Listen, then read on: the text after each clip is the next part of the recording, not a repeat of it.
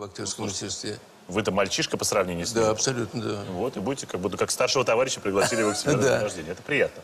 А, Вячеслав Потом, скажите, потом еще будет, будет, э, подарок от Кардена, будет пе- певица. можно ли я покажу вот эту фотографию? Потому что вот вы сказали, вы произнесли сейчас так в проброс, у нас молодые люди сидят в зале. Да, да. Слово «карден» таким, каком- каким оно было эм, не знаю, вы- 60-е, 70-е, 80-е, 90-е годы. да. Ну, карден это означало все. Да.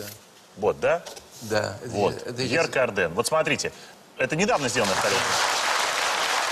Вот я хочу, я хочу обратить ваше внимание. Смотрите, Вячеславу Зайцеву на этой фотографии 74 года, Пьеру Кардену 52. И посмотрите на Нет, 90 ему. 90 ему. Да, да. Извините, я...